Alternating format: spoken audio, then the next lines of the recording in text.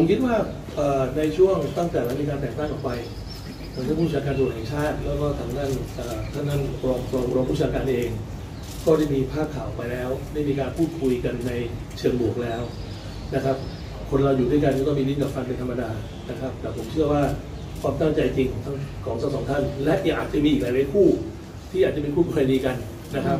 ซึ่งผมก็ไม่ทราบแต่ว่านโยบายชัดเจนนะครับ ว่าเรามีภารกิจใหญ่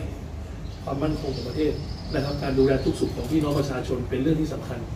นะครับ เรื่องส่วนตัวเป็นอีกเรื่องหนึ่งนะครับ แต่ว่าต้องทำงานให้ได้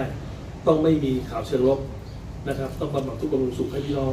ได้ตลอดเวลาแสดงว่าท่านนายกก็ดูเหมือนว่าจะขัดแย้งกันจริงๆใช่ไหมครับท่านนายกกล่าวแบบนี้แล้วยังมีอีกหลายคู่ด้วยเปล่าครับเป็นธรรมดาของวงการผมเชื่อว่าวงการสื่ออยู่ที่นี่ก็อาจจะมีการทะเลาะกันบ้างเป็นธรรมดามันคงไม่พูดแสดงว่าคุยกันก็มีแสดงว่าท่านนายกเป็นเรื่องธรรมดาท่านนายกท่านนายกก็พร้อมที่จะห้ามศึกเลยใช่ไหมคะ ผมคิดว่าเราไม่ต้องห้ามเลยครับ ผมคิดว่าเราเราเป็นการพูดคุยกันอย่างผู้ใหญ่ผู้หลักผู้ใหญ่นะครับ มันไม่จำเป็นจะต้องมีการพูดคุยแล้วต้องมีการทะเลาะเบาะแว้งกันไม่จำเป็นหรอกครับ คนเรามันมันมันผิดใจกันได้แล้วกลับมาสบายใจกันได้ใหม่นะครับสังคมอยู่ด้วยกันมันมาจากหลายๆที่หลายทางอะมันก็ไม่เห็นตรงกันไม่หมดนะแต่สำคัญที่สุดคือต้องมีการพูดคุยในภาษาที่น่าฟังนะครับ โดยมีการด้อยค่าซึ่งกันและกันนะครับ โดยไม่มีการดูถูกดูแคลนกันนะครับ สังคมแตกแยกมาเยอะแล้วก็ขอให้มีมิติใหม่ในการพูดคุยกันดีกว่า ผมเชื่อว่าทุกๆองค์การทุก ๆ สถาบัน